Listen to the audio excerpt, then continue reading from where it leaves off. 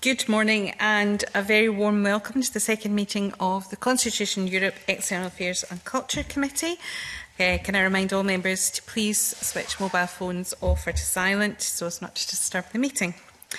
Our first item today is a decision on taking business in private. Members are invited to decide whether to take item three, the consideration of the work programme in private. Are we all agreed?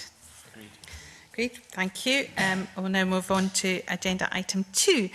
And um, it's a Scottish Government update. And this morning we are taking evidence from Angus Robertson, Cabinet Secretary for Constitution, External Affairs and Culture, on the Scottish Government's priorities relating to the remit of the committee.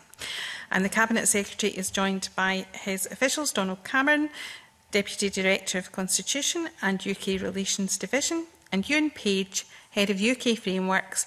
And I welcome Cabinet Secretary and his officials to committee this morning. And I'd like to invite Mr Robertson to make uh, an opening statement. Thank you very much, Convener, and, and, thanks for the opportunity to come to the committee so early in Parliament's uh, deliberations and so early in my tenure as, as Cabinet Secretary. As you might imagine, I have a bit of experience of committees, particularly in another place um, having served for 10 years on the European Scrutiny Committee in the House of Commons, amongst others. So I understand the importance of committees and I look forward uh, to working with you collegially uh, throughout this parliamentary uh, term, both directly in the committee and in the chamber, when no doubt you'll be raising issues of, uh, of interest um, uh, throughout the term. Uh, in terms of an opening statement, um, uh, convener, um, I observe that we're at the start of the sixth session of the Scottish Parliament. Uh, in 1998, people in Scotland voted overwhelmingly to set up this parliament after years of uh, Westminster governments which ignored their wishes and imposed unwelcome and damaging policies. Devolution has improved people's lives in Scotland and delivered governments that they have chosen, at least for devolved policy areas like health and education. With our own parliament, free personal care has been introduced, university tuition fees have been abolished, and no one is now charged for prescriptions. The list could go on. The UK government is now putting all of that at risk by taking back control once again of key devolved powers without consent from Scotland, without consent of you, without the consent of the people of Scotland. Most notably, through the UK Internal Market Act imposed on Scotland despite an overwhelming rejection by stakeholders and the explicit refusal of consent from this Parliament. It's also doing so by using Brexit, a Brexit the people of Scotland overwhelmingly rejected, as an ill disguised attempt to diminish the powers and responsibilities of the Scottish Government and this Parliament. The committee takes up its responsibilities at a pivotal moment. Devolution is under systematic attack from a UK government that is increasingly hostile to devolution in both word and deed, directly through legislation like the UK Internal Market Act, which takes powers from Scottish ministers and Parliament and place it in the hands of UK ministers through direct UK government spending and devolved matters in Scotland in a way that bypasses the Scottish Parliament, bypasses you, and bypassing the democratically accountable ministers and is likely to have a profound and damaging effect on the devolved budget. And through legislation, either by a deliberately wide interpretation of what is reserved under the devolution settlements, or by ignoring legislative consent decisions of this Parliament, a convention scrupulously observed by past UK governments of various stripes since 1999, four times since the EU referendum alone. This isn't just happening in Scotland. The Welsh First Minister says the UK government is continuing to, and I quote Mark Drakeford, steal powers and steal money away from Wales. The Scottish Government will do all that we can to keep Scotland safe, protect the gains of devolution, and our democratic rights. We remain committed to working with the UK Government and other devolved governments in an equal partnership on common frameworks, on voluntary arrangements based on progress by agreement between equals, offering a model for future cooperation. But these arrangements can only work if all parties are prepared to respect devolution and proceed on the basis of equality and mutual respect. Sadly, there is little evidence that Westminster wants an equal partnership and has resorted instead to unilateral control. Make no mistake, the UK Internal Market Act is clear evidence of a UK government committed to actively constraining and overriding decisions made by the Scottish Parliament without its consent. Delegated powers within the Act mean that devolved policy choices can be brought within or excluded from the scope of the Act's market access principles by UK ministers alone, with or without the agreement of this Parliament, with or without the agreement of you. All members of this committee and Parliament, irrespective of party, should be deeply concerned about this and oppose the damage being inflicted on devolution. I'm sorry to say that faced with a UK government determined to centralise power in Westminster, there is a limit to what can be done in mitigation. The outdated fixation on Westminster sovereignty allows any UK government with a majority in the Commons to strip or override devolved powers without consent should it wish. And let us not forget that the current UK Prime Minister is on record as describing devolution as a disaster. This is a far cry from the devolution settlements agreed in 1999 and cannot offer a stable basis for equitable and productive relations between the governments of these islands. This demonstrates why, as we recover from the pandemic and try to mitigate the wholly avoidable consequences of hard Brexit that we didn't vote for, the people in Scotland have the right to decide their own future. At the recent election, the Scottish Government was given a clear mandate to offer the people of Scotland a choice over their future once the COVID crisis has passed. It will then be up to the people of Scotland, not a Westminster government that they didn't vote for, to decide how Scotland is governed.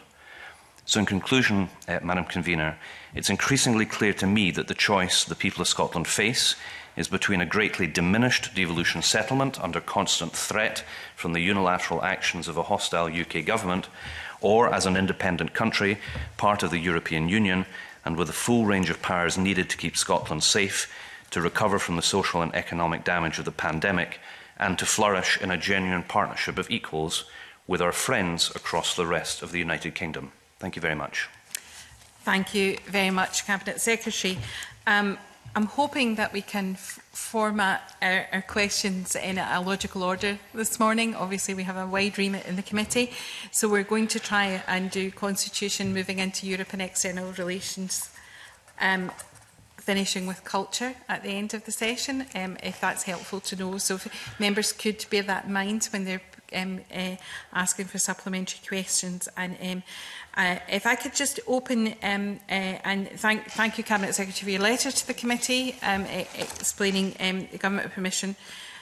position on a lot of these issues. And in that letter that you sent the committee last week, um, you state that there is ongoing work to fully map out and understand the Internal Market Act's impact and that that will take time um, for us to fully understand and fully grasp the implications of that. So I just wonder if you could say a little bit more about that work and whether it will be published and available to the committee um, for scrutiny. Well, thank you very much, Convener. I should say, uh, given your observation about the wide range of the committee, uh, it's probably uh, unrealistic that you'll be able to cover all of the issues that you may have um, questions about within an hour. So I reiterate the point that I, I look forward to coming back. And in the meantime, if you have questions, uh, to, that we can, that we can uh, through letters, um, inform the committee about any queries uh, that you have. Just in, in, by way of an update on the, um, on the status of the Internal um, Market uh, Act, the Act has been in force uh, since the 1st of January 2021, uh, and Scottish Government officials are engaging on a factual basis without prejudice uh, to ministers' fundamental opposition to the Act across a number of related fronts.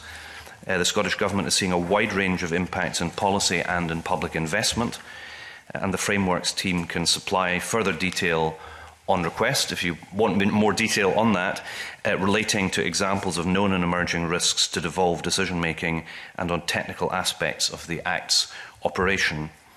Um, this is something that has been shared, the concerns of the Scottish Government uh, with the UK Government, but also um, uh, we have been working in conjunction with colleagues in, in Wales and Northern Ireland. The views that I'm expressing here today, and the Scottish Government is expressing, are views which are shared by the Welsh Government uh, and in the Northern Irish uh, executive. So this is going to be a really big issue throughout this Parliament, and no doubt we'll be coming back to it uh, again and again and again.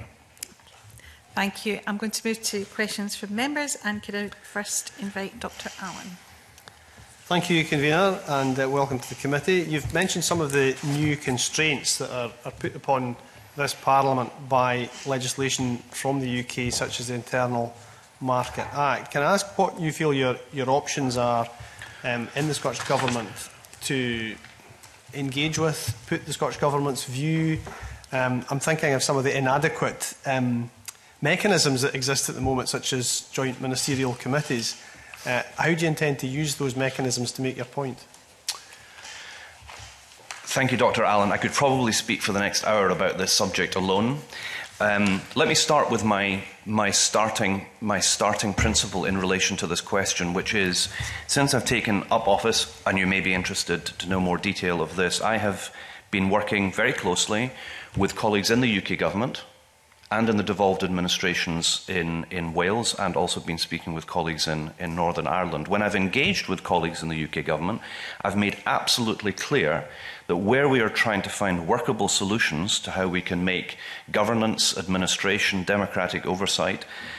uh, and reform of arrangements, that I am extremely keen to be doing it on a collegial basis, uh, to try and find agreement where we can, where there are administrative blockages, if I can put it that way, that they can be overcome, um, that I'm acting in good faith to try and uh, deliver uh, on a wish that surely everybody in government should have that um, we are operating uh, as, as, we, as best as we can. Now, to give you a concrete example of how it might be possible to improve things relates to the issue of frameworks.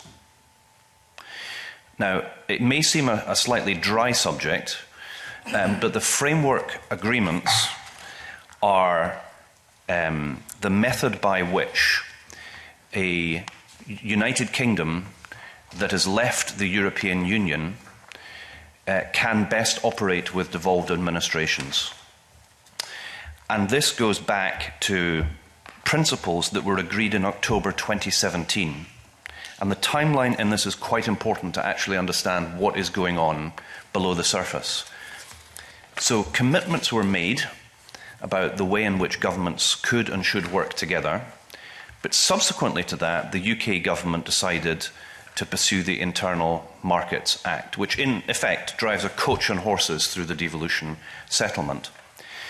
And as a result of that, progress on the frameworks agreement uh, have certainly not been as, uh, uh, uh as quick or as far as I would wish, and no doubt for you who would wish to scrutinise uh, the frameworks your, yourselves um, the, de the detail of, of which and the progress of which um, uh, has frankly not been good enough.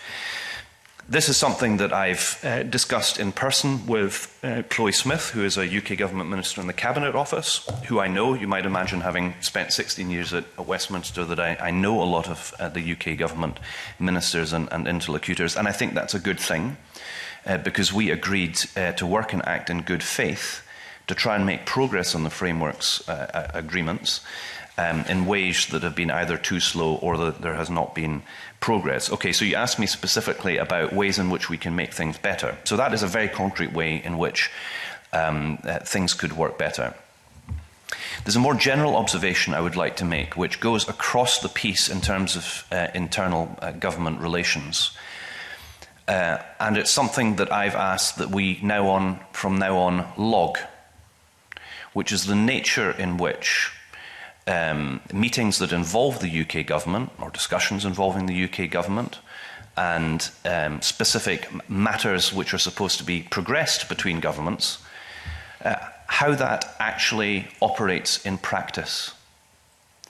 Because it is hard to come, to come to any other conclusion that there is a determined and deliberate approach by the UK government in relation to the Scottish government and by extension to the Scottish Parliament of not informing the Scottish government, informing the Scottish government late, not involving the Scottish government in all re- relevant meetings. When one does take part in, in meetings, the thing I've heard most of, often is noted. And apparently, when one hears later, um, the issues that were discussed have been fully consulted on Now, if consulted is simply taking part in Teams or Zoom meetings where UK government ministers say, noted, I suspect that that is going to come far short for the Scottish Government, and I imagine for this committee as well. So we have a profound challenge about how we deal with the UK government because, frankly, Um, not only is the, the, relationship between the UK government and the devolved administration suboptimal, but they are actually pursuing policies aimed at undermining and denuding the devolved settlement that was agreed by the people of Scotland, incidentally, also the people of Wales, and incidentally, also the people of Northern Ireland. And uh, no doubt these are questions that you would want to ask any UK government minister if they deigned to turn up. So I look forward to watching such an evident session with interest. Thankfully, clearly you, you will enjoy um, joint ministerial committees when you get an invitation to one, and uh, um, it sounds like you've worked out the format. Um, can I ask you about um, something you, you raised there in your introductory remarks about some of the history to this, which is that the very reason this, this Parliament is in existence, not the only reason, but one of the reasons, is to ensure that decisions about spending and what we now understand to be devolved areas uh, are made by this place and not by anywhere else.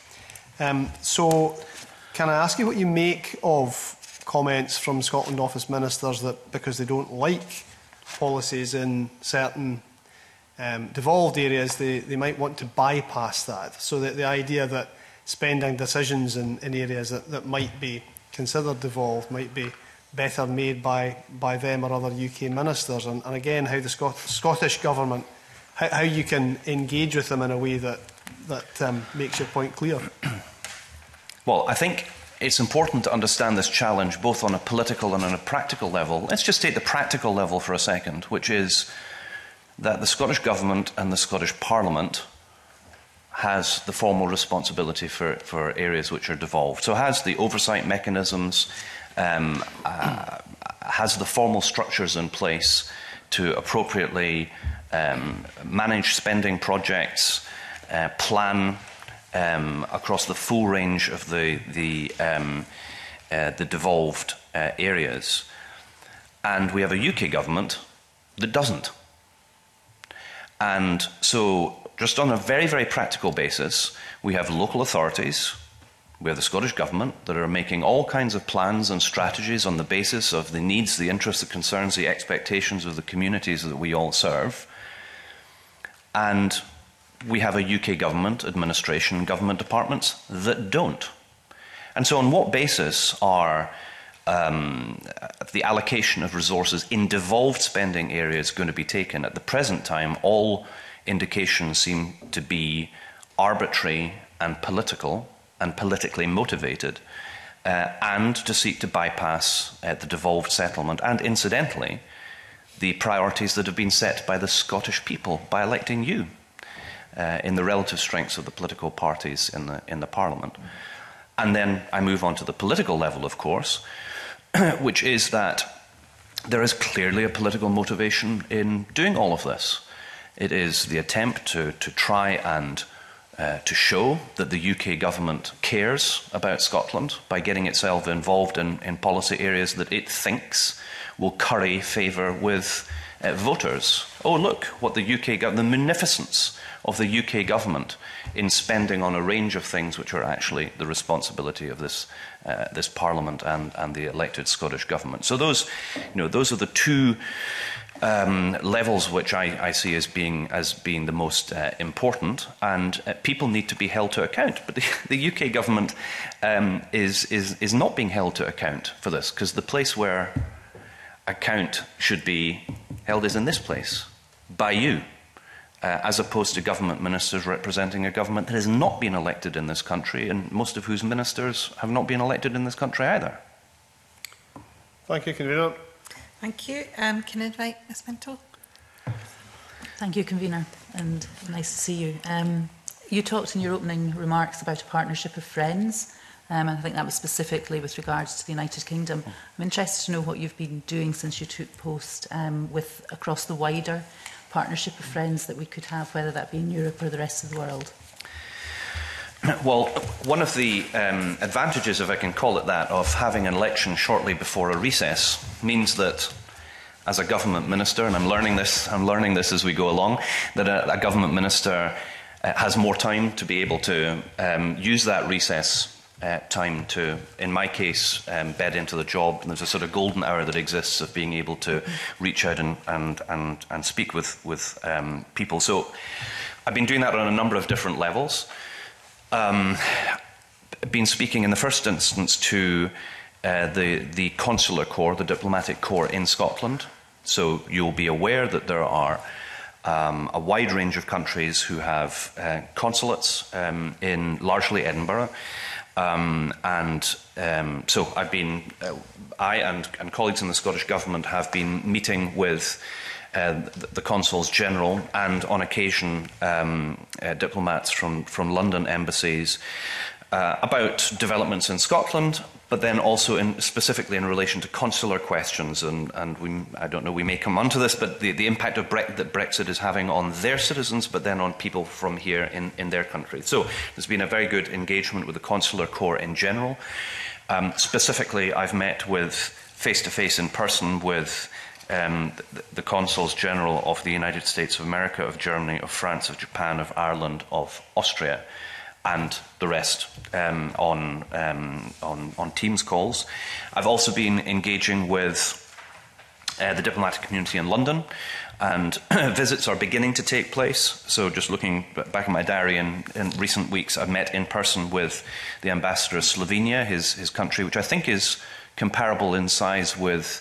Wales. Mm -hmm. It is a very important country because it currently has the presidency of the European Union. So I was very pleased to meet the ambassador in person. I've met the ambassador of Finland, met the ambassador of Austria, met the Indian High Commissioner, and spoken via Teams with a number of others. On Europe, uh, I have met or been in communication with, amongst others, the German permanent representative to the European Union, the Irish permanent representative to the European Union, David McAllister, the chair of the Foreign Affairs Committee of the European Parliament, and MEPs across all of the mainstream Uh, fam political families in the European mm-hmm. Parliament, you, you'll be aware there is a Friends of Scotland group um, in the European Parliament. So um,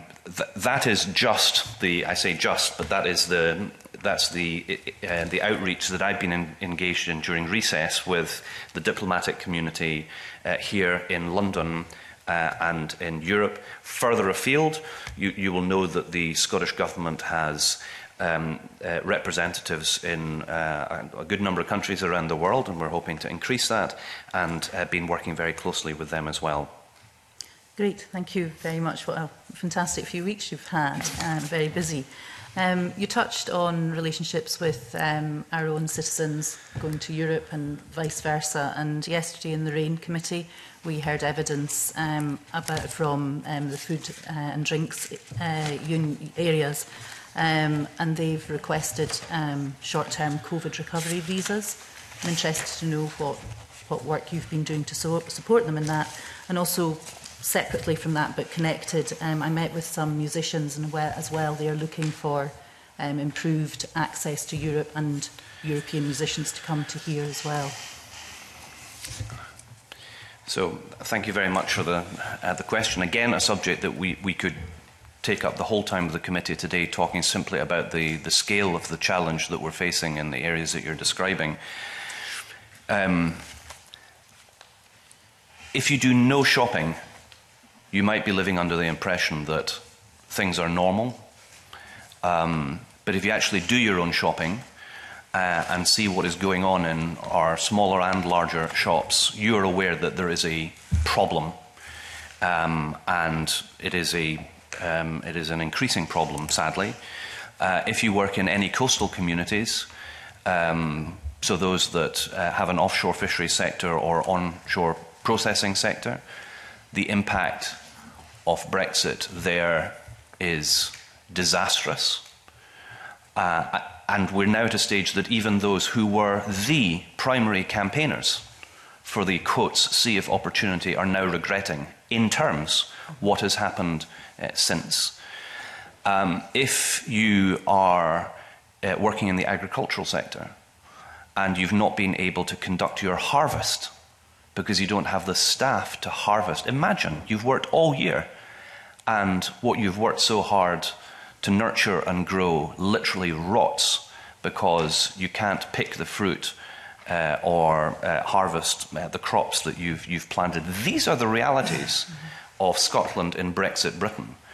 And uh, across the Scottish Government, whether it's colleagues working directly in, in the agriculture and, and fish sector, or in, um, in my area of responsibility, um, the impact on the culture sector has been mentioned. Um, well, on the one hand, we, we should be glad and we should put on record our appreciation to everybody in the cultural community has worked so hard to try and make sure as we emerge from, from COVID that we can see the bounce back in the, the culture and arts sector, which is so important to all of us. And festivals have begun to run. But you could take evidence from anybody working in the cultural community, and they would be able to explain to you in technicolor mm. the impact that Brexit has had on people being able to come here and people from here trying to go somewhere else to, to, to perform. I know about this because I've held a number of sector roundtables, so I've actually spoken to the people who are involved in this directly.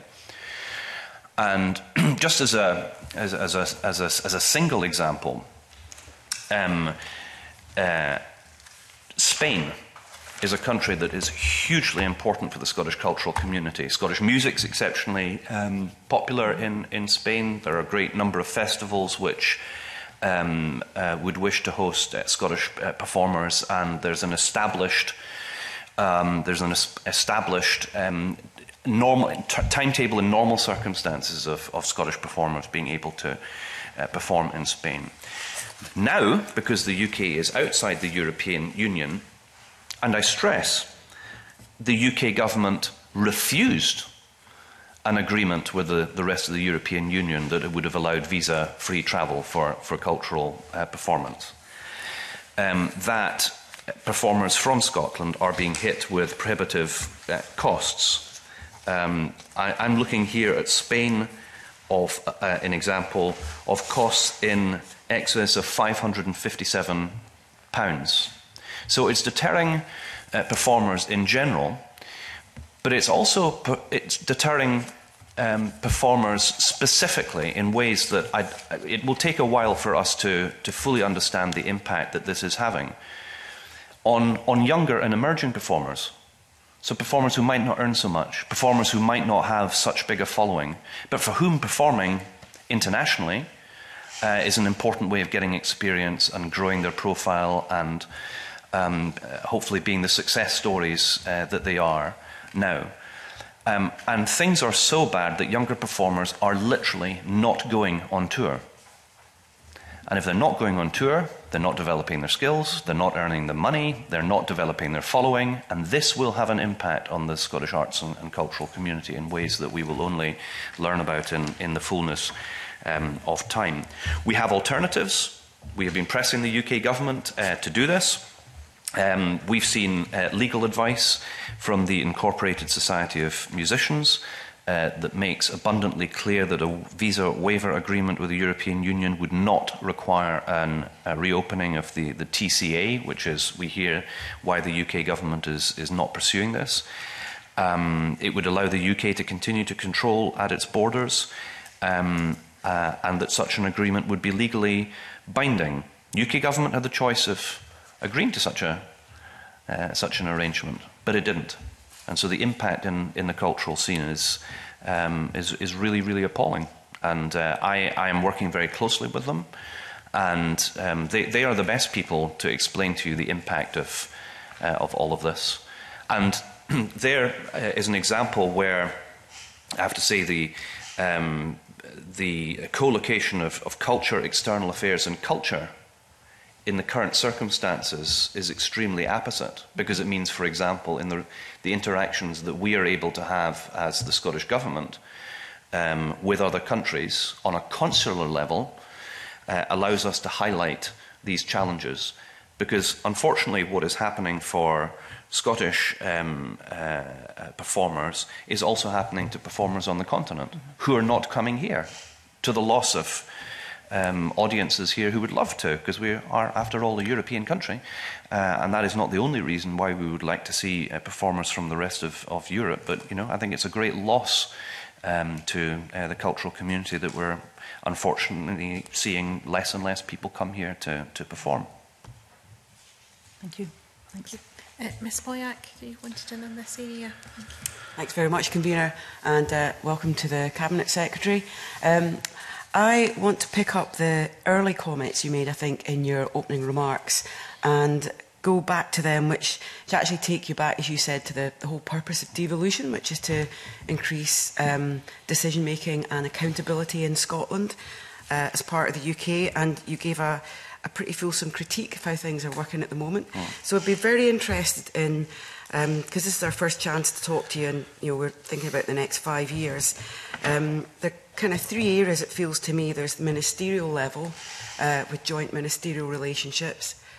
There's our parliamentary accountability. Um, there's relationship between different parts of the civil service across the UK. And then there's the, the level of local authorities. Um, and the description you give is a, it's not an overly positive one of the current structures and relationships. So um, what would be your short-term uh, suggestions for how we begin to reset those relationships, given that we're at a critical moment in terms of uh, when, when we look at your um, the issue of common frameworks and think about how we deliver parliamentary accountability on that raft of different frameworks. What are the, the changes you think need to be made? Um, because I suspect there's a, a reasonable agreement round the table that noted is not a very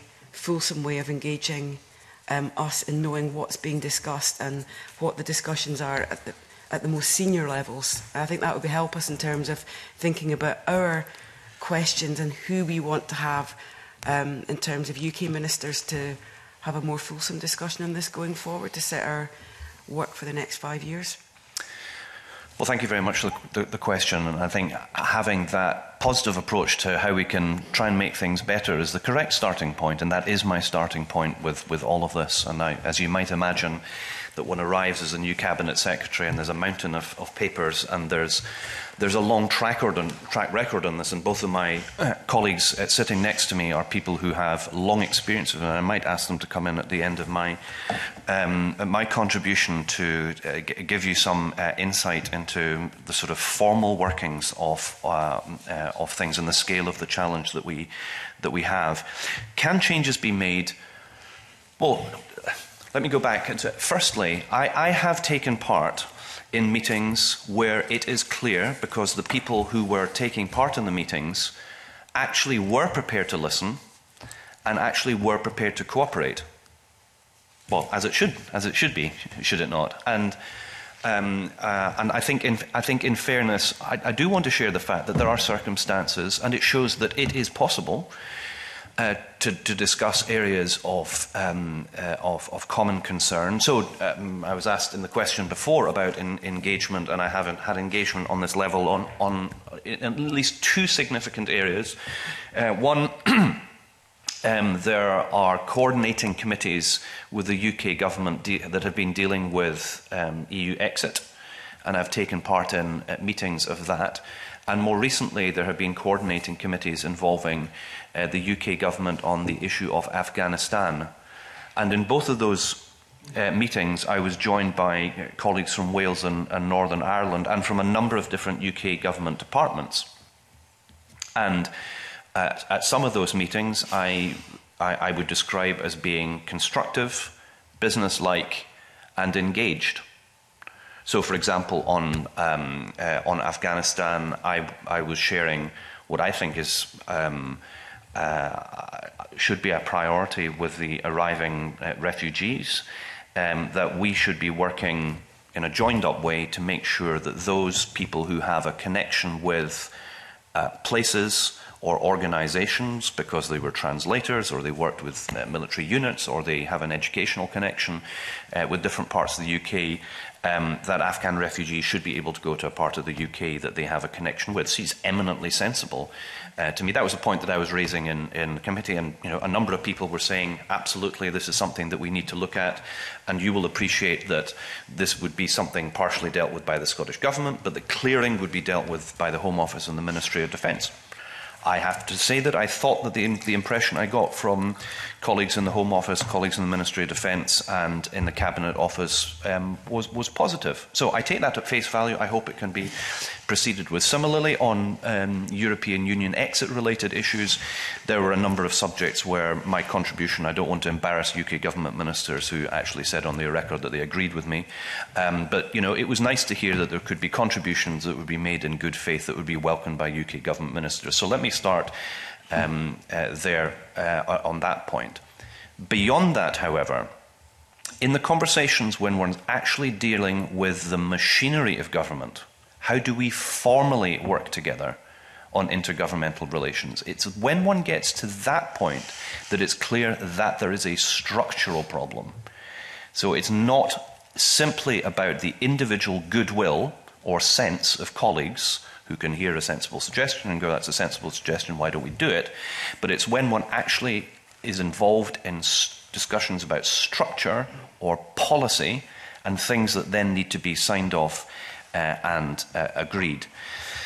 I, I have little doubt that where there are things which are not viewed as being partisan, there is good opportunity for informal working, and I will continue in all circumstances to try and work like that. Um, but on the formal level, that we are we need to know what we are dealing with here. We are dealing with a UK government that has a policy about its interaction with devolved administrations. And I stress again that this is not simply an issue of relevance for the Scottish Parliament and the Scottish government. Our views are shared by the Welsh government of a different political hue. And when one speaks with colleagues in Northern Ireland, you hear much the same thing. And um, we, we are internally trying as best as we can to understand where the uh, blockages are on frameworks. I mean, frameworks crystallizes the challenge that we have with this. We have the pre Brexit commitment to a way of working that respects the devolution settlement in principle, and let's work out frameworks on the basis of that principle. Incidentally, commitments given amongst, in amongst other places by government ministers on the floor of the House of Lords. And then we have the practice of what the impact of the Internal Market Act does And as committee members will be aware, there has been an internal debate within the UK government about its form of interaction with devolved administration. The term muscular unionism is one that has been used by, amongst others, the, the Welsh First uh, Minister.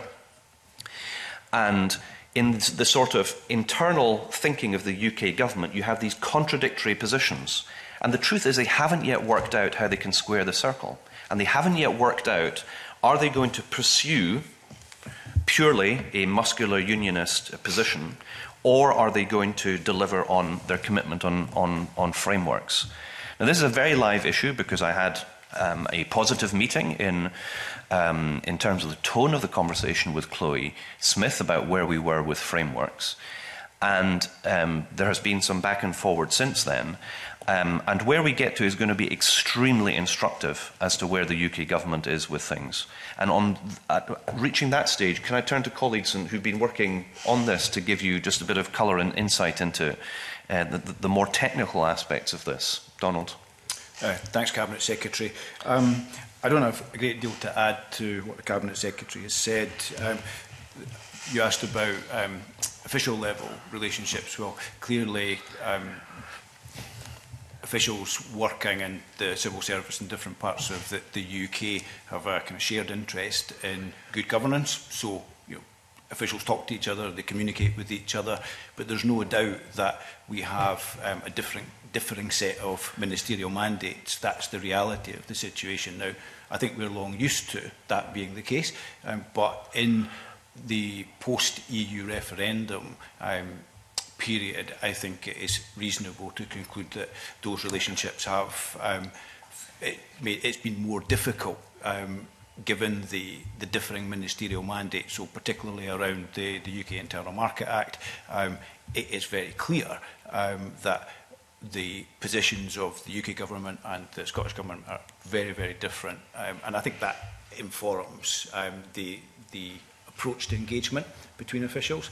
Um, and you know, we work uh, you know, uh, in both administrations to do our best to, to kind of manage our way through the, um, the, the differing ministerial mandate. But there comes a point where you hit the, you know, you hit the reality of that and that there isn't any scope for further negotiation or um, development at an official level. It has to be sorted out um, at a political level and I think that's simply the reality of the, the situation at the moment. I agree with the Cabinet Secretary's remarks about the Common Frameworks programme. I think we have seen a lot of good progress over the um, I think three years that the, the programme has been um, underway. I think what we're seeing now, though, for two points I'd make there. First of all, that um, that work was predicated on an agreed set of principles about what frameworks would do. So baked in to the project was respect for devolution, a recognition that there was um, a set of legitimate interests um, on the part of the UK government in devolved areas and legitimate interest in the devolved governments in reserved areas areas where you see the intersects between um, reserved and devolved responsibilities. So that work got off to a good start because of those, because of that recognition at the outset. I think what we've reached now is the kind of crunch point um, that in kind of three separate areas we need to see progress, um, which really sit at the heart of um, the um, the effect of the, the UK Internal Market um, Act in terms of um, an exclusions process for frameworks. Um, our sense as uh, in the Scottish Government is that there needs to be a degree of automaticity to that process um, if we are going to see frameworks um, do the job that they were originally conceived to do. Otherwise, we will be in a situation where irrespective of what is agreed in a frameworks area, um, the UK Internal Market Act provisions um, can cut across that agreement. Um, and the only thing that can be done to um, uh, address that is for a decision made by a UK Government Secretary of State. Now, that cuts um, across the, the kind of principles that were agreed in, uh, that govern frameworks at the outset. So um, that is an area where uh, progress is needed if we're going to get on to the second part of your question, which is around um, the, the role that the committee has in scrutinising frameworks. Um, our sense is that um, progress is needed on these three cross-cutting issues before scrutiny can be done on a, a meaningful basis, but we recognise the, the pressure um, in terms of uh, timings and workloads um, and scheduling of business for committees. So um, I think, as the Cabinet Secretary has also said, that you know, we are hopeful that progress um, can be made over the next um, few weeks on these outstanding issues, but it will very much depend on the UK government being able to reach a, a collective decision. Um, and I think it remains to be seen whether that will be uh, possible or not. Okay. Ms Playak, you wanted to... Yeah, that, those uh, two answers were very helpful um, and that helps us think about a accountability and further scrutiny for us to work on. Uh, can I just go back to my first question to the Cabinet Secretary again about your priorities of what, what you would change in the short term? Because you're, you're clearly of the view that the system is not working as intended at the moment and that there have been big changes as a result of Brexit. What, what would be your short-term change? I know you want a different constitutional settlement long run, but to make things work now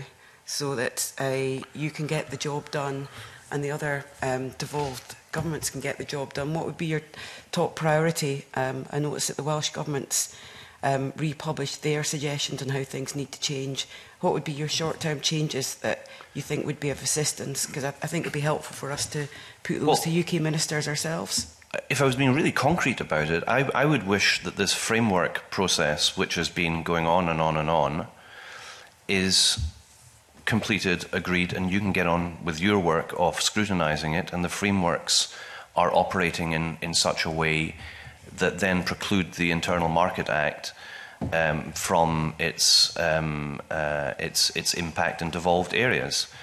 Um, that, that would be a pretty short, good short term solution, and it would then free you up to um, actually scrutinize the workings of said frameworks. That, that would be a good thing. I'm, I'm not entirely sure. Um, uh, we, we may have different um, perceptions of, of how short short term short term is. Um, um, but you know, within this parliamentary term, uh, it is yeah. the it is it is the government's intention that the people of Scotland should be able to determine the future governance of this country, and that is in um, in most consideration in terms of short term, medium term, and, and long term. uh, that is something that is um, uh, something that we intend to uh, take forward in this parliamentary uh, term, and that allows us to think completely differently about uh, the interrelationship of government and governance on, on these islands. And let me stress that for me, that is an important dimension to the next stage in Scotland's democratic journey is our interrelationship with the rest of the United Kingdom, which will which will still remain the, the primary relationships that we have. And so, you know, I'm pleased that, and obviously during COVID um, restrictions, my ability to take part in face to face meetings has been. Uh, as for all of you and for the rest of uh, the rest of society has been very restricted. But I'm taking part in my my first sort of intergovernmental face-to-face event um, this weekend when I meet members of the UK government, um, the Welsh and Northern Irish uh, executive, well, the Welsh government and the Northern Irish executive, and the government of the Irish Republic at the British Irish Association. And I think it behoves us all to work out how, given the suboptimal way in which things are currently operating within the devolved settlement, can be working better on the basis of Scotland being a sovereign state like the Irish Republic. And um, that, that is not all plain sailing, um, uh, as we have been able to observe uh, through Brexit. Um, but it is something that I'm very cognizant of, and I want to see good um, uh, formal uh, and informal relations uh, between the nations uh, of these islands. But I am of the view uh, that we will be in the best possible position uh, to pursue our interests and our shared interests by being a sovereign equal um, in our case, member state of the European Union, which we would then be together with the Irish Republic, um, but also with new machinery, and we would need to think about how we how, how we can make that work um, uh, optimally. And for me, because obviously this is something we're wanting to do once we emerge from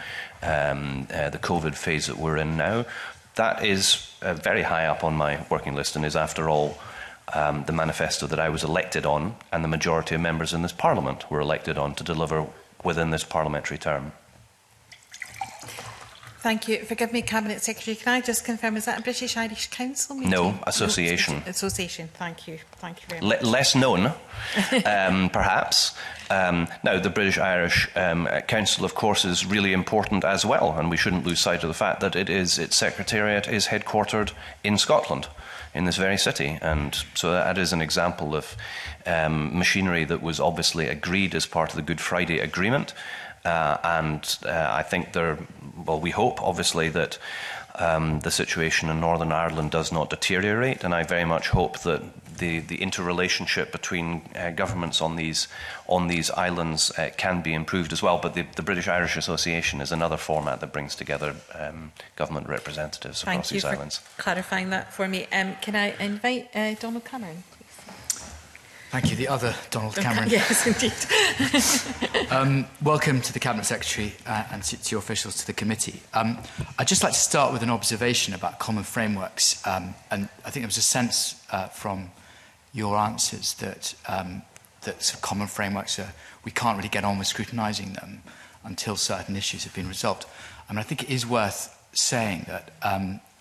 the Health and Sport Committee on which I sat um, uh, in the last Parliament did did scrutinise two common frameworks and heard from Scottish Government, heard from stakeholders and officials. So it, it's not a novel process, albeit it is one that I think we are all feeling our way a bit on. Um, so just to put that on, on the record. I, I'd like to pursue uh, the issue of intergovernmental relations um, because I, I think, you know, as you've made clear, Cabinet Secretary, uh, it does feel that relations are at a pretty low ebb. Although one of the things that's emerged today, I think, is that, is that there are you know, constructive uh, co um, contacts between, uh, you know, at a ministerial level and, and at an official level. But just to um, come to something that Mr. Mr. Cameron said,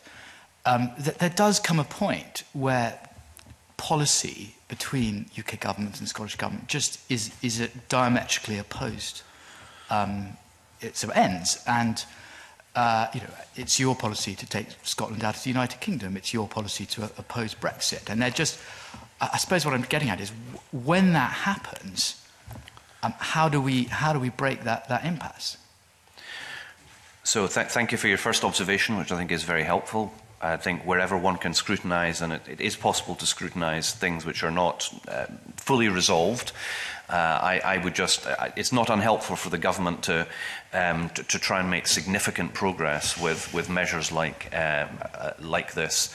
Um, uh, before bringing it to parliaments, and, and you, I'm sure you appreciate uh, all of that. If I can start out again um, with the best of intentions around things on, on the intergovernmental um, relationships. There are areas where it is possible to deliver further progress. So I, I raise the issue of framework because that would be a good thing to make progress on, would it not? Notwithstanding the fact that there are genuine and legitimate differences between the government elected in Scotland and the government elected elsewhere in the United Kingdom. And, and so to share a couple of things that I think are, would also be worthy of consideration uh, by the committee. Um, firstly, the fairer dispute resolution process, which is something that could, for the first time, um, involve the principle that no government can be both party to and arbiter of a dispute. I think that would be a good thing. Um, that there should be an independent secretariat drawn from the four governments, which would oversee machinery and disciplinary, uh, disciplinary and uh, dispute resolution processes. I think that would be a good thing. Um, there are emerging proposals from the Treasury uh, which could make four nation discussions more equitable. Uh, there is, however, an outstanding issue about whether the, um, the Treasury, which of course would be unlikely in normal circumstances, to relinquish control over the, ice, uh, the oversight of financial disputes, um, but would need to do so um, because obviously it is a party to much of this as part of the UK government. And then on, on the fourth area where I think there are revised proposals, which would be an improvement on current processes, and you might want to understand more about, would be on more transparent arrangements for formal intergovernmental meetings with shared responsibility for agenda setting and, and chairing meetings. So, not just having a, a sort of faxed, here's what we're talking about, here's when it's happening, here's who's taking part, and we're deciding all of that, which again is not, you know, that's not a normal um, way of doing business. So in, in answering your question, please, I'd, I would like to stress that I think there, there are areas where we can make progress. There are areas where I think there could be things that would be agreed um, if there was goodwill on, on all sides. And I acknowledge that there does come a point, of course, there comes a point, when um, a profound series of or, uh, seriously different uh, views on, uh, on the part of the Scottish Government and the UK Government um, are, um, are irresolvable. But from our perspective, surely all of us on the committee and, and in this parliament and in the government, we serve on the basis of, an, of a devolved settlement that was voted for by the people of this country. And it behoves us, I think, uh, to uh, protect and maintain and support the governance on this country, of this government on, on the basis that that is what the people agree to.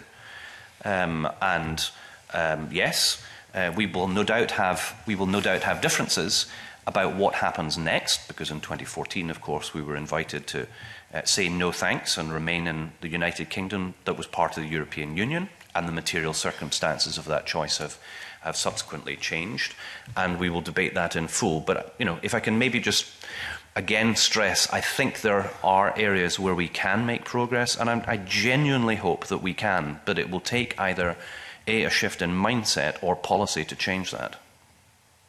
Thank you. Thank you for that answer. I, I've got a question on external affairs, which mm-hmm. you've, you've touched on in terms of the, the outreach you were doing. Um, now, e, external affairs under the devolution settlement is, is reserved to, to the UK government. But I think we've all accepted over the last 20 years that, that Scotland does have an international uh, presence and um, a need to promote itself. Um, Can I ask, though, how does the Scottish Government work alongside uh, the UK Government um, in terms of external affairs? And if I could illustrate that with an example,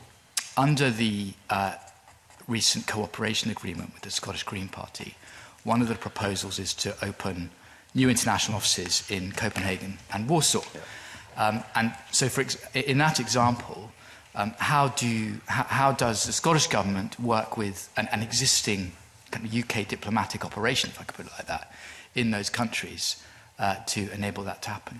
Okay. So first, I'm very mindful of the time, and I'm, I'm, sure there are committee members who are keen that we can also get onto, I don't know, maybe some questions on culture as well. But I just answer very, very quickly. In these two concrete cases, both of the uh, proposed Scottish Government hubs would would be quotes on platform um, on an on platform basis. That means it within the UK embassy, and um, that very obviously because of well, proximity makes coordination with colleagues working as part of the UK embassy very direct.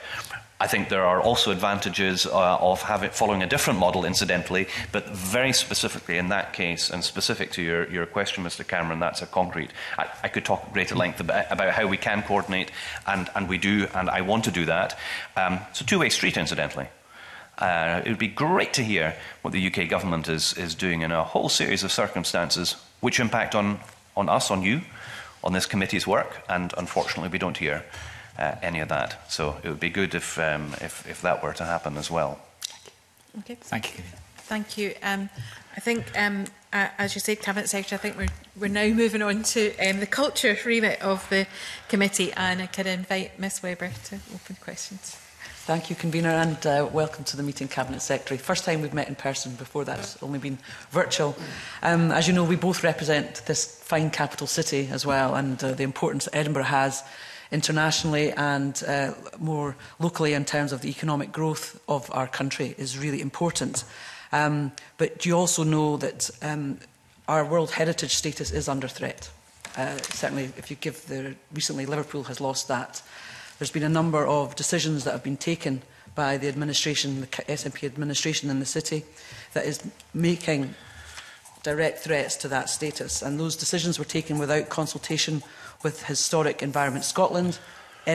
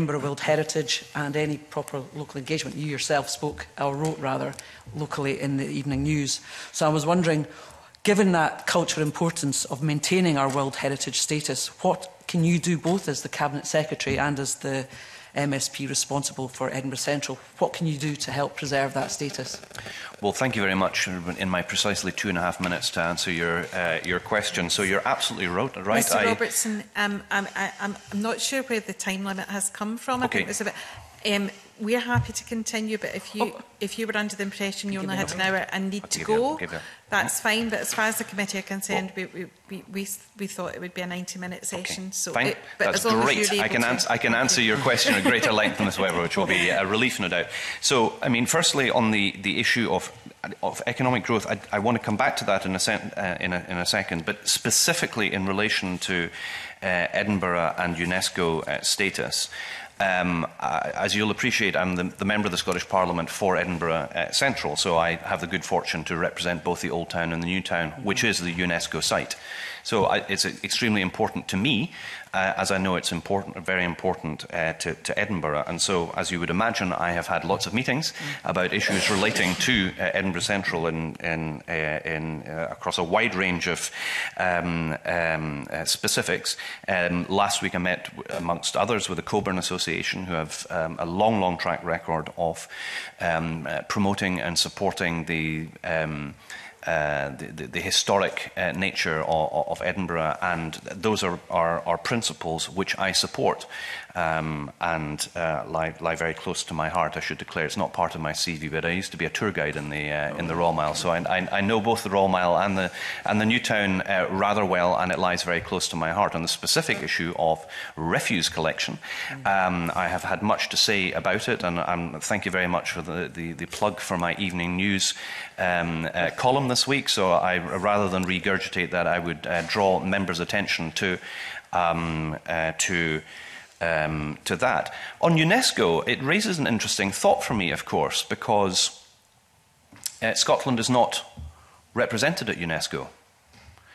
And for those who are unaware, it's the Cultural Organization of the United Nations, which does have representation from the government of Quebec, which does have representation of the government of Flanders, does have representation of the government of uh, Wallonia. Um, and um, I don't know, maybe it's, it's worth thinking about um, our relationship with uh, the United Nations Culture Organization, which does have an influence on not just Edinburgh, because there are other uh, sites of worldwide heritage in Scotland that are relevant, and UNESCO is the key interlocutor there. So, yes, I agree that we want to do everything that we can to support, promote, and protect um, the, the, extremely important and special nature of the Old and New Town in relation to the UNESCO World Heritage Site.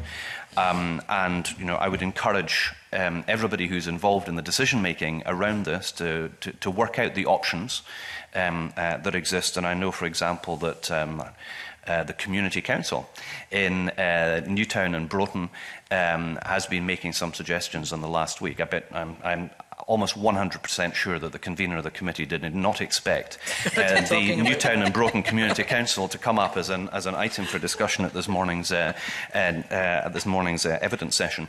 But let me segue into economic growth, if I may, and uh, perhaps I, you, you, would wish me to answer this question um, uh, on, on the basis of a, of a further question that people may have. Um, but one of the things that excites me most in terms of economic growth and this relates to the culture area of the portfolio directly and not necessarily my MSP responsibility for, for Edinburgh Central, is in relation to um, screen production, television and film. And it, it will not have, um, uh, you will have, um, it will, you will not have failed to, to notice um, that there's a big change in relation to, to screen and broadcasting in Scotland. If you think back five or six years even, um, we were lamenting the fact that we didn't have a single studio of significant size in Scotland, that we had market failure effectively in screen production terms, and how all of that has, has changed. And in Edinburgh's case, um, but I'll widen out my observations to the rest of the country, we have for the first time a significantly sized studio based in Leith. Uh, and one can add to that um, uh, the Kelvin Hall in Glasgow. We can add to that Pacific Key, um, where we, um, uh, I think, uh, enjoyed success during the recess in ensuring that the BBC did not farm that out um, and have managed from uh, outside Scotland. Delighted that we have an additional studio that will continue to be managed from Scotland. And as we know from productions like Outlander, we have facilities in, uh, in Cumbernauld and now with Good Omens 2 in, in West Lothian. So we've gone from a position in screen production, which is worth hundreds of millions of pounds to the Scottish economy, including Edinburgh, um, that we are at a point, I think, that um, uh, we could not have imagined a few short years ago. And I am extremely, extremely focused as Cabinet Secretary for Culture in making this be the success that it can be. And I would like to invite the committee. I, I hope you, I hope you share my enthusiasm and my um, uh, and my encouragement uh, for supporting this growing and emerging part of the Scottish economy because the potential that it has, I think, is groundbreaking. Um, I've had, uh, in, in terms of my lists of people I've been speaking to during recess, having been asked about external affairs, I've been speaking to, amongst uh, others, the Director General of the, uh, of the BBC, Tim Davey, Chief Executive of Channel 4, Alex uh, Mann, Head of Screen Scotland, Head of Creative Scotland, and then others who are involved in, in, in the sector about where we are with this. And it is genuinely exciting. Um, it wasn't just exciting to go to the film studios and see the shooting of the, uh, the rig with uh, uh, Martin Compston and Ian Glenn and, um, and Emily Hampshire and others. Um, but it was. Um, and I, I, don't know how many of you are watching television, and I will give an unashamed plug for the BBC um, uh, this week, who, who broadcast on Sunday night episode one of Vigil, and episode two was on Monday, I, again starring Martin Compston. I don't think everything produced in Scotland has Martin Compston in it, although uh, he, is very, he is very, very good. Um, um but we have Good Omens starting um, series two with uh, Michael Sheen and, and David uh, Tennant, and with the the beginnings of the, um, the streaming services, mm. so Amazon, Netflix, and others, we now have, we have the prospect of literally permanent screen production in Scotland in a way that we didn't have before. And when I was at, at, at Bath Road in Leith, speaking to uh, the young trainees who'd come in, they were lined up, and their number one question for me is, can I continue to do this? i.e., can I continue to work in the in the film, in the making of TV series and, um, and, and, and cinema production in Scotland? And I was able to say to them, I am the first cabinet secretary in Scotland with responsibility for this area who can, with almost 100% certainty, guarantee that people going into screen production will be able to have a full life career in that sector in Scotland. It was not possible before, and it is possible now, and we have a huge prize to gain in terms of jobs, in terms of career development, in terms of skill, in terms of investment.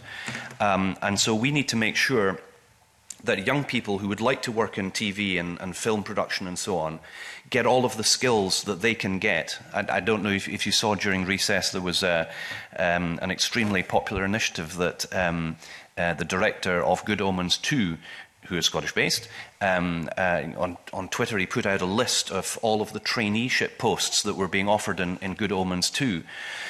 Uh, and it was massively oversubscribed, as you might imagine. And what, what is so encouraging about this is understanding what that actually means. And we can learn there from the likes of Outlander, which I think is on its sixth series. I'm not an aficionado, but I know it's a lot of series. Um, and, but the point about that is people who went in at the start of the production, series one, series two, have through the, the further series being they have got more experience they've become more senior so again we are closing a market failure in the scottish economy of actually having people trained people who have the skills, and then instead of exporting them to work at Pinewood or in Prague or New York or LA, they can actually do this here. And I, it's, um, I'm, I'm, you know, I'm not going to hide the light under a bushel. It is one of the most exciting things I think in the culture. In the, in the whole cultural area in Scotland, and I think we, we should be doing absolutely everything that we can to make sure that we help it be the success that I think it, it, it can be and So that's a long and unexpected answer, perhaps, to your question about uh, Edinburgh's UNESCO status. But you started off, and it was predicated on economic growth. And I look forward to um, the screen um, uh, production uh, sector going from strength to strength.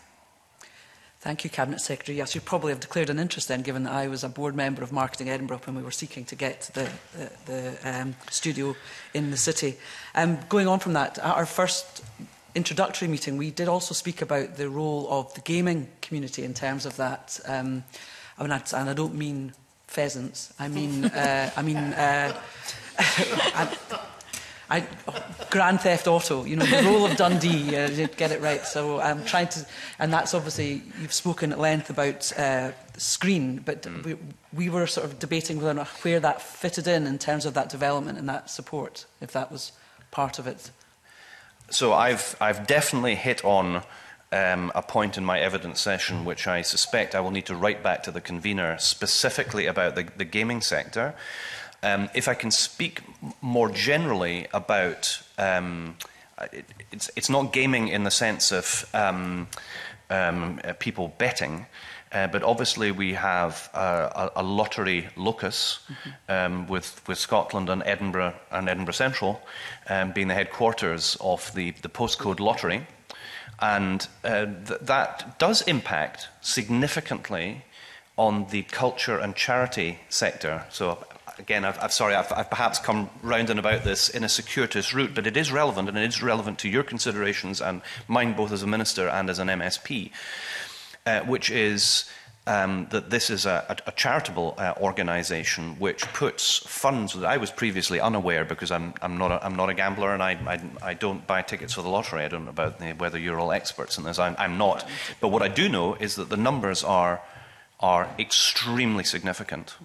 What I also know is that they're very forward leaning at working uh, with charities. Mm-hmm uh, and in, uh, especially in, in the cultural sector as well. And I'm talking about very, on a very grassroots level, and not just the larger, although they are very supportive of larger cultural organizations as well.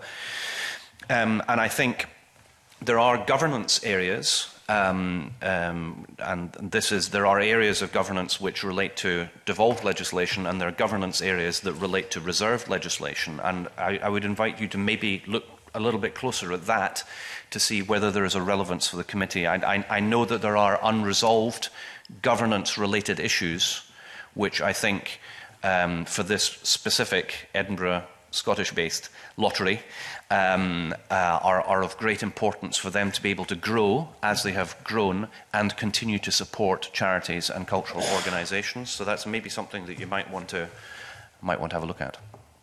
Thank um, thank you very much, Cabinet Secretary. Um, it, eh, just a, a, little bit of context around um, the games industry. Mm. Um, obviously, a lot of the skill set involved in games development and all of these I'm so sorry. are similar to the screen industry. Well, it's very no, relevant because no. obviously we're talking about funding that comes from the lottery. For, so forgive me, for, forgive me, convener, and as my as my wife would confirm, my hearing is um, is is not always on point. I might be accused of, of of it being selective. I heard gaming in the sense of um, putting on a bet or buying a lottery ticket. Forgive me, forgive me, a young man Or Young yeah, well, maybe I miss. I'm, I'm, not a great gamer in the sense of Grand Theft Auto, um, um, uh, uh, and so on. Uh, forgive me, I was answering the question on the basis of gaming um, uh, financially, um, as opposed to the uh, the online version. Well, I mean, the point going on to that for a second Um, and, and, and mentioning Grand Theft Auto is,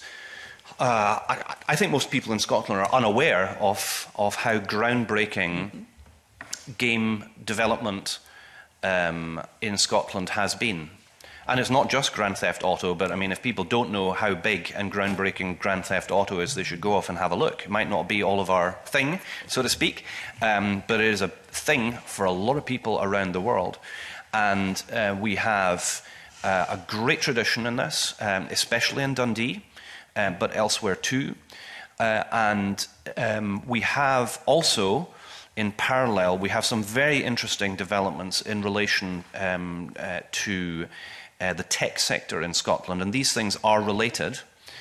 um, because I think we, we have a huge opportunity, but there's also a, there's also a challenge in this of are we helping to give enough younger people, especially, the skills and the training and the expertise to be able to walk into these emerging sectors uh, and for us to make sure that the maximum number of people here are able to take up those jobs. And I think that's still an open question. Uh, there are some uh, countries uh, for whom um, computer science uh, and such like is, is absolutely up there as a priority. Good news it is for the, the Scottish Government uh, too. And we need to make sure that we match um, those organisations that have a really big tech locus. And as we know, again going back to uh, going back to Edinburgh, where there's um, uh, the aspiration to become the data hub of the whole of Europe, um, and there's a huge AI um, uh, um, uh, sector developing in, in Edinburgh too. This is huge. This should be hugely encouraging for a young generation of people for whom computing's interesting, gaming mm. um, uh, is interesting, tech is interesting, AI is interesting, and while some of that falls within obviously the, the education sphere of, of work that the Scottish Government does, or economic development, um, uh, um, it also does fall in part in, in culture as well. Um, and I think we, you know, we, we need to understand that, that much of this is,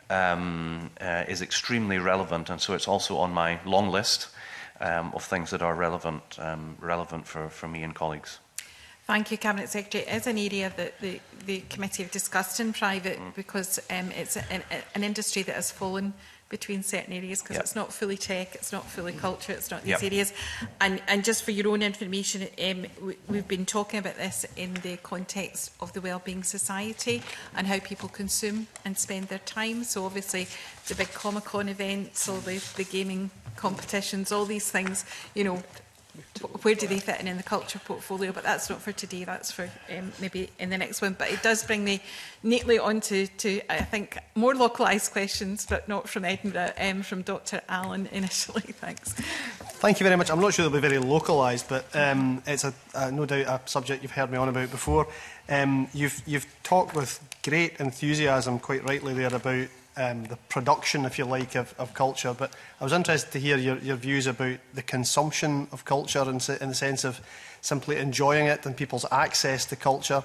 Um, and uh, particularly, uh, I'm interested in a subject I've raised before, which is the, the body of Scottish literature which exists out there, but which academics and, and others point out that compared to most other European countries, um, people seem to have an abnormally low opportunity in Scotland or um, getting better, but comparatively little opportunity to, to get immersed in that, book sold and new produced in Scotland. So uh, I uh, appreciate you're not the education minister, but it'd be interesting to hear your views about um, the promotion of, of, uh, of Scottish literature.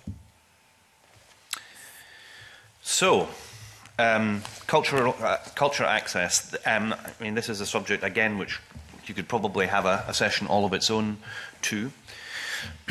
there are a number of obvious areas around culture and, and access to culture which um, should be high on our um, priority list.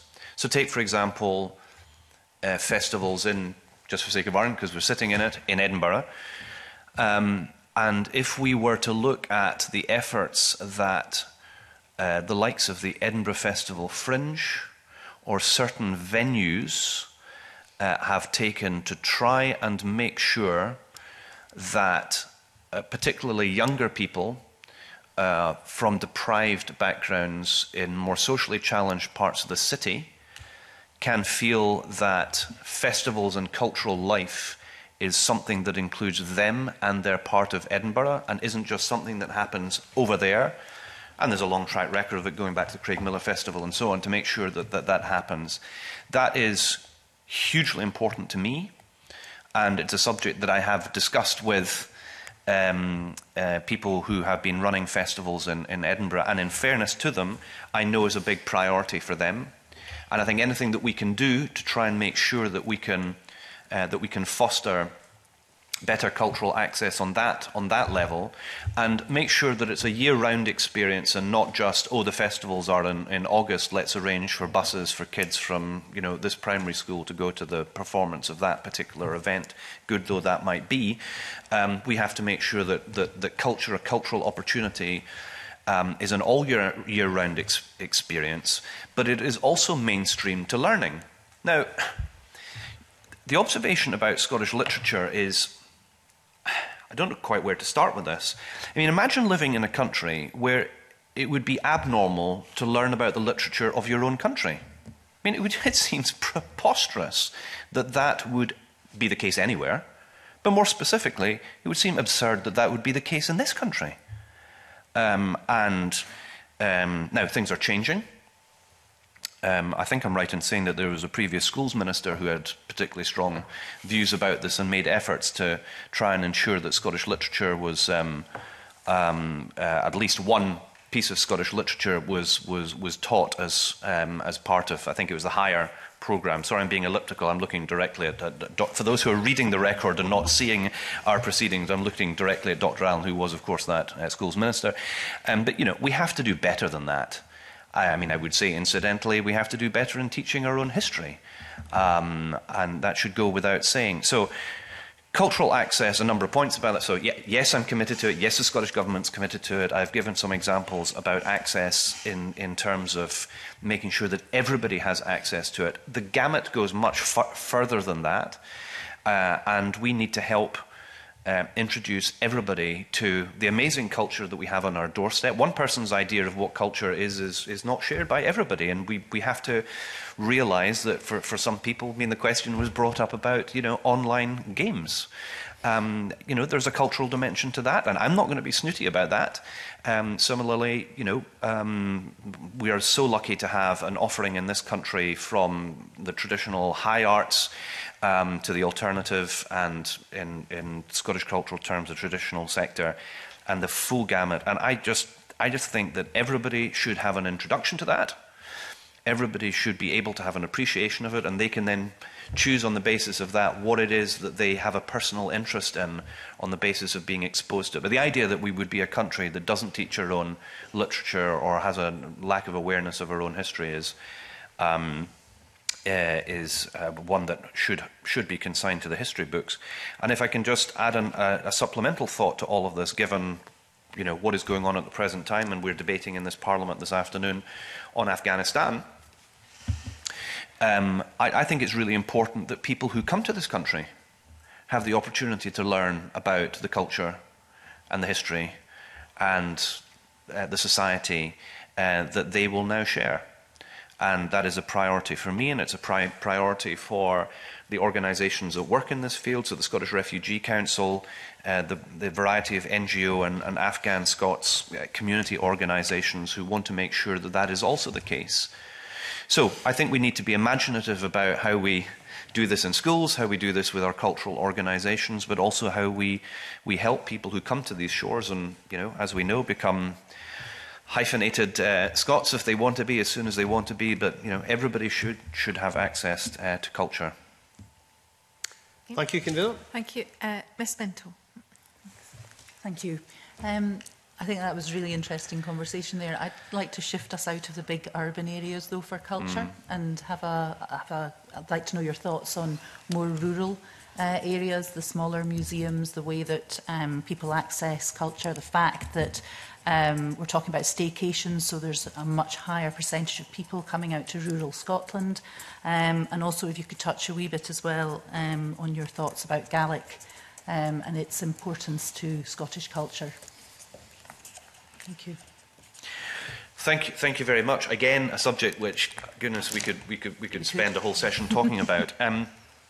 so let's deal with the tangible.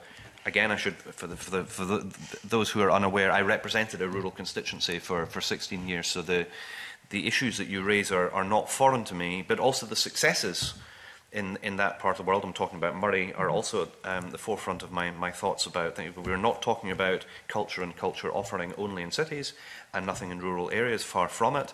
Um, there is a strong tradition amongst our uh, artistic community and uh, cultural organisations that there's a touring element uh, to, to, to what they do. So those with long enough memory will uh, remember the Cheviot, the stag, and the black, black oil, and how the fact that that was a, a, a cultural production that literally travelled round all of the villages and towns of including, Scotland, including my constituency, including, including Argyll and Bute, um, was in its way it was maybe groundbreaking in showing Absolutely. that there is a hunger in uh, throughout the country for uh, for cult cultural offering. And the, you know, the great news is, you know, Scottish. Um, I mean, I could go on, but you know, Scottish opera, Scottish chamber orchestra, um, a whole, you know, right across the spectrum. Or yeah, um, or the the other end, the more uh, alternative Neuriki um, who normally um, perform in Edinburgh, um, uh, but who have uh, performed in, in I, have seen perform in, in Elgin, mm -hmm. um, but perform in, in other parts of the country too. And I think that's.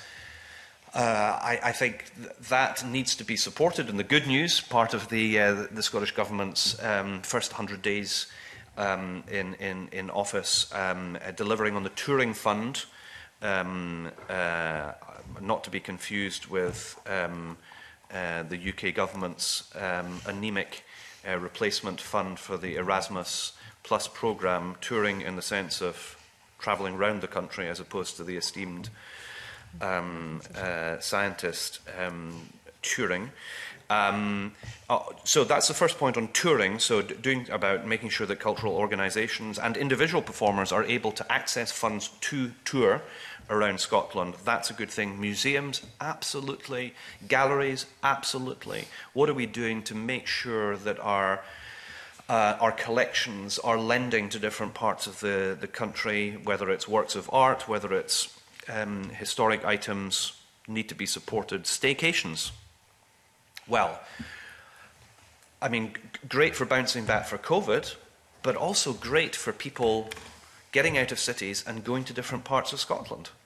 It's been so nice to see people um, who, in other circumstances, almost certainly would not have um, been or gone to where they have gone on one of these staycations, and um, uh, and learning about that part of the country and learning about um, what what they have to offer and Um, I mean, I know that communities right around the country are, are, are doing their best to make sure that, that that sort of cultural offering and experience that people might have, and not just going somewhere and staying and I don't know paddleboarding, is is is what they do. So from that on to Gaelic.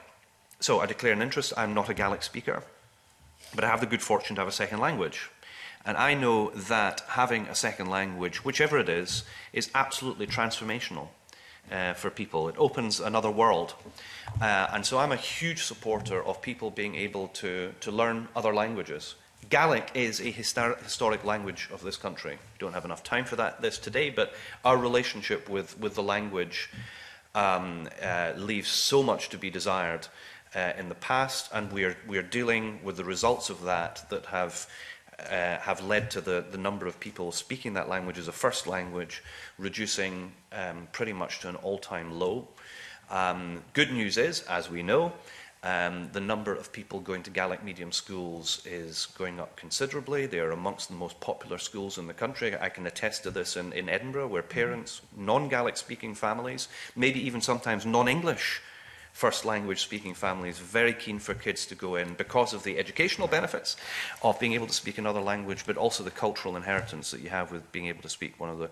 So, on that level, I'm a massive supporter of, of the language. But secondly, in terms of the cultural offering, where the Scottish Government has a role to play in this, um, whether it's education, not my responsibility, but uh, I know my colleagues uh, responsible for education are very um, supportive of it. In my area, in terms of broadcasting, This is very important as well. Um, and there is much more that can be done about it. It is very encouraging that the number of people, for example, who are regular watchers of, of uh, BBC Alapa um, are non Gaelic speakers. Um, it, is a, it is a gateway broadcaster, if you want to call it that, for people who, whose first interest might be watching football or something else um, but are able to watch um, and enjoy the commentary in, in, in the Gaelic mm-hmm. language, and it might help foster an interest in it. I hope that answers your question. I, I think there's so much that we can we can do with it.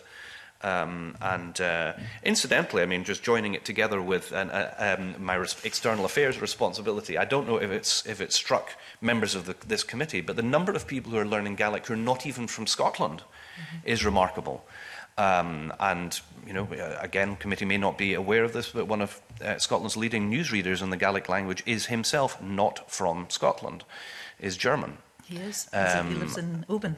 Well, there you go. Another Argylan, another Argylan and Butte connection. connection. So we need to understand Gaelic is not just a, a historic language of Scotland, which is something that we should um, learn and we should enjoy, but it's also something of huge interest to people elsewhere. Um, and that, that's a thoroughly good thing. Mm -hmm.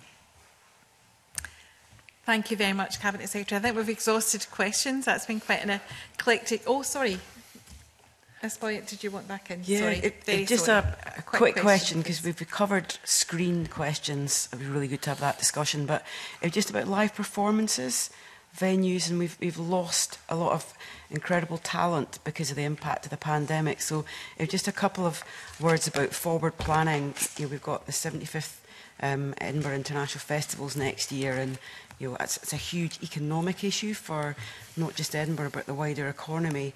And just a bit from you about thinking about uh, re resilience and recovery for the live performance sector, uh, thinking about what more the Scottish Government can do, not just now, but upcoming to make sure that it's both the people in the sector, but also the venues are supported. Uh, it must be incredibly difficult for them to plan ahead, given the uncertainty and the difficulties of the last year. Thanks, Communer.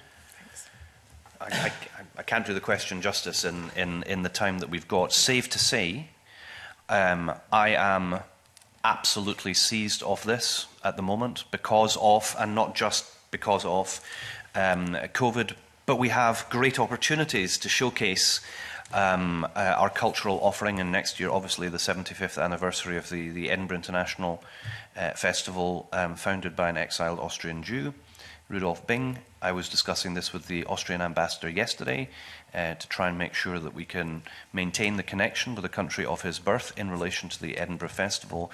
So, not just on that level, uh, but how do we help and support and work with our cultural organisations and critically our venues to make sure that they are in, in the best possible position um, uh, to, to, to play part in that recovery. Um, Ms. Boyatt will be aware that there have been announcements made in, in terms of certain venues. Take, for example, the King's Theatre in Edinburgh, where a significant funding announcement was made by the Scottish Government uh, during uh, recess. We are committed to supporting the cultural sector and venues in bouncing back. Um, the um, frequency of discussions with people in the sector is um, at an extremely high tempo. We are very well informed about the needs, the interests, the concerns, the expectations of people in the cultural sector. We want to be able to match their ambitions uh, as part of a, the, the, the, recovery of the arts and culture sector. And uh, if it's not obvious to, to members, um, uh, looking at the stats will confirm that the, alts, uh, the arts and culture sector are amongst the worst hit in the Scottish economy in terms of the impact of, of lockdown, and it behoves us to do absolutely everything that we possibly can. We have constraints, of course we do, um, but we should be doing as much as we as we possibly can to to work with our colleagues in the sector, and we are doing that. Um, there is, as we all know, the sad reality that we are dealing with a global pandemic. Um, and we are doing our level best to make sure that uh, we do not need to go back into a circumstance where uh, restrictions uh, are applied, and that's why I'm happy to report to the committee that in um, meeting that took place with um, uh, different sectors yesterday uh, afternoon that I took part with the Deputy First Minister, amongst the first speakers that took part in that were leading members of the cultural community and people who manage venues um, and they are extremely um, uh, bought into uh, the approach that we are trying to take to do everything that we possibly can to make sure that we don't need to go backwards um, into into restrictions. Um, and you know, by working together, we can increase the, the, the, the chances of us being able to recover from COVID and working in partnership to see the, the cultural sector not just recover but thrive and uh, you know, I leave you with a last thought um, um, uh, going forward. One of the things I'm very interested in personally is Scotland's cultural offering internationally, uh, which most countries pursue in a cultural diplomacy framework. And uh, that's something that I, I'm, I'm, I will be developing my thoughts on during this parliamentary term, and I'll be happy to come back to the committee to, to speak about because I think Uh, we have a tremendous offering, not just domestically, but internationally, and I think we want to do everything to support that um, in the years ahead as well.